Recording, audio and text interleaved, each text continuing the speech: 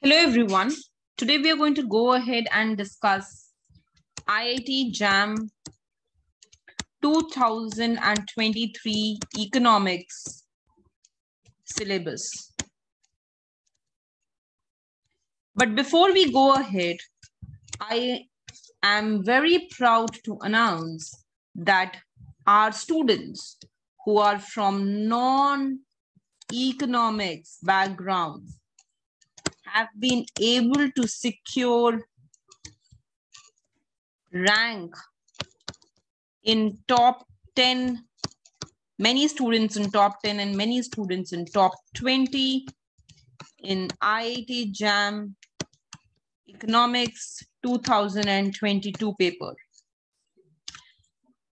One good thing that happened is that these students had never ever read a single topic related to economics.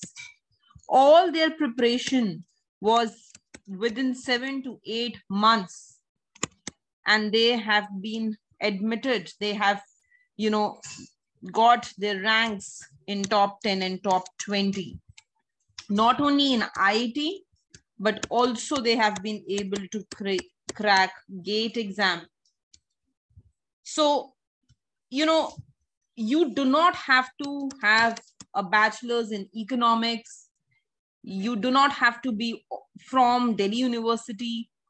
You can be from any university. You can be from any course and you can still go ahead and clear this prestigious exam. Okay, now let's go ahead and see the syllabus. First subject that is asked majorly is microeconomics. Now, microeconomics can be divided in six main parts. The first is consumer theory. In consumer theory, you would be doing topics like what is an indifference curve, what are preferences, what is utility, you'll be doing topics like what is budget constraint, what is choice, what is demand. Then we will be taking it ahead and understanding what is Slutsky equation. We will be talking about this in detail. We would be doing something which is known as revealed preferences. And a very, very important question asked every year, which is related to risk. Expect one to two questions coming on risk that is what we would be doing. Second, we would be going ahead and doing topic on theory of production and cost. In production and cost, we would be doing what are production functions. We would be doing something which is known as isoquants. We would be doing something which is known as returns to scale We'll be talking about economies of scale. We will be looking at the production theory in the short run and comparing it with the production theory in the long run. Then we would be talking about different cost curves. What is AVC? What is AFC? What is ATC? What is TC? VC? Total variable cost, total fixed cost. What is total um, cost? We'll be talking about the relationship between these cost functions. The third topic that we would be covering would be general equilibrium and welfare. Now, this general equilibrium and welfare can only be done after you understand the consumer theory very well, because I would be introducing something which is known as a 2 cross 2 cross 2 model. So I will be talking about two consumers together I will be talking about two producers together, two products together, right? I will be talking about two inputs together. So, you know, you have to try and understand the consumer theory very well. So now here I will be going ahead and talking about something which is often asked and came this time also, which is known as the Edgeworth box. It comes every year. And then we'll be talking about what is a pure exchange scenario, then we will be talking about uh, the different two important welfare theorems. And, you know, we will be looking at the cases when the welfare theorems are not satisfied and what happens under those situations. The fourth topic that I would be taking would be market structure. Here we would be talking about perfect competition.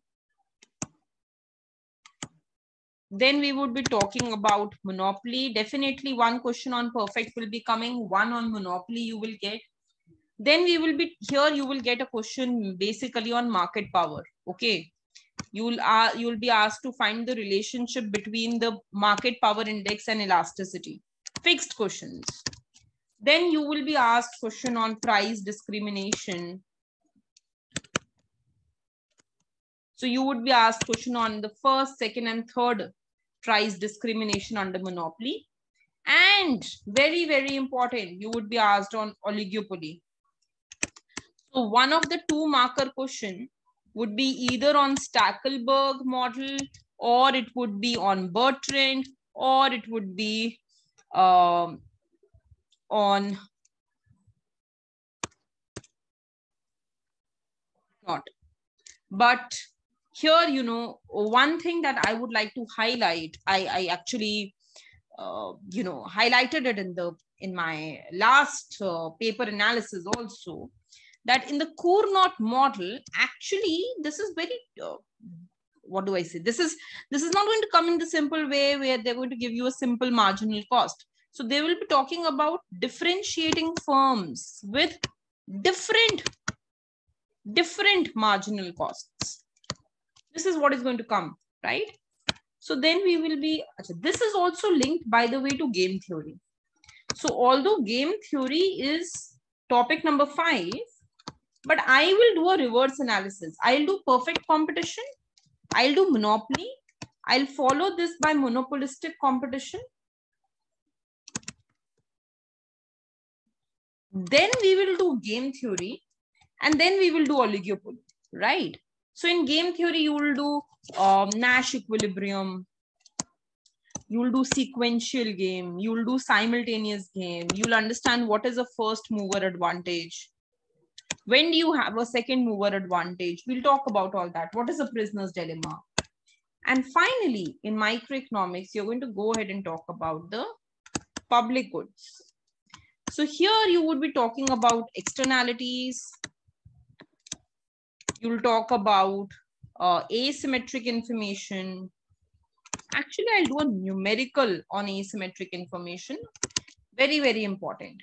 So then you'll talk about the two asymmetric information problems, which is adverse selection and moral hazard. We'll also do one numerical on externalities. It usually is asked in exam. So this is how the microeconomics would be distributed. The entire microeconomics process, if you go ahead and look into your portal, will have three level. The first level will be called Introductory Microeconomics. Here, you will have 10, mainly 10 chapters, plus quiz related to each chapter, plus workbook of each chapter. That will be your introductory micro. Followed by introductory micro, you will see intermediate micro. So in intermediate micro, you will see 36 chapters. Very, very important. Now, if you do this introductory and intermediate well, it is enough to clear the exam, by the way. But then we have our advanced lectures. This is what we do in our live sessions. and this will help you grasp difficult numericals so that you don't panic in the exam. Related to my entire microeconomics curriculum, we'll discuss the topics and we'll do the numericals, right? So this is how the entire microeconomics is divided. Every week, you'll be given weekly assignment on microeconomics. Plus bi-weekly we'll keep a mock test. Plus you will be given enough workbooks to practice. Okay? Fine. So this is all about how microeconomic syllabus is divided for the entrance exam of IIT JAM 2023.